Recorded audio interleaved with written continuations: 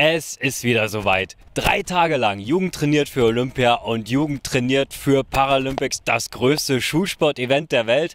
Ja, und wir sind hier live im Schwarzwald in Schonach und hier ist richtig viel Schnee gefallen. Und die Kids, ja, die trudeln hier schon so langsam ein. Die Vorfreude ist auf jeden Fall spürbar und das gucken wir uns auch gleich mal an. Denn die Anreise begann für viele Kids schon in den Morgenstunden. Doch die lange Fahrt tat der Stimmung keinen Abbruch. Im Gegenteil, ganz Schonach strotzt vor Vorfreude auf die kommenden Tage. Ja, und die Nachwuchsathleten, die sind schon Feuer und Flamme bei knackigen Temperaturen in den Disziplinen Skilanglauf.